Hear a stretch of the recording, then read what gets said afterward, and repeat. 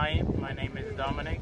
I'm a long-term traveler and I have a huge love for Dahab.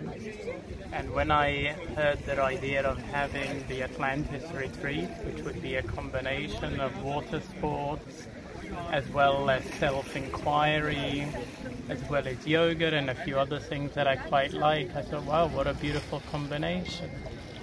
Um, it was a really nice experience, especially the um, getting to know myself better in the water, um, my experience with the water. Um, I've always had a bit of a, I wouldn't say a fear of the water, but I've always seemed to have been quite rushed whenever I've done anything water to go in, to go out really quickly. So that was something I really wanted to change. I wanted to feel more comfortable and more relaxed in the water, and it's definitely something I experienced.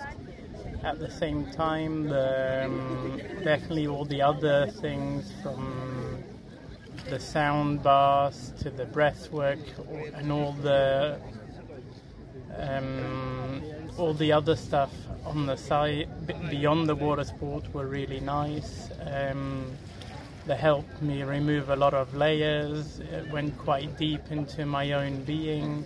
Some of it which I liked, some of it which I didn't, but I guess it showed me and helped me deal with the ones that I didn't like so much. Um, I would highly recommend anybody that um, is looking for a nice combination of a retreat um, that involves water sports to definitely sign up for the Atlantis course.